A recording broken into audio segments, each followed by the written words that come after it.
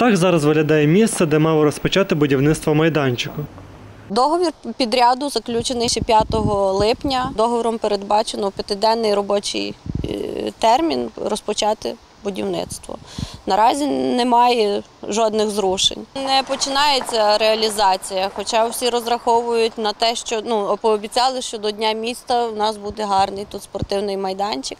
Роботи мала виконувати фірма Аскор Буд. Щоб розпочати роботи, потрібно, е, щоб департамент е, прийняв рішення, що нам робити е, з земельними роботами, які не включені в проектній частині, а також із внесенням дерев, сипкою щеплення, і також при винесенні меж на місцевості виявлено те, що межі майданчика виходять на проїжджу частину. Це просто не враховано було в е, пропозиції. Зараз проектна організація підготувала кошторис на ці роботи. Підрядна організація подасть кошторис на додаткові роботи як е, дефектний акт до тої е, уже документації, яку ми підписали з ним договір. До кінця вересня.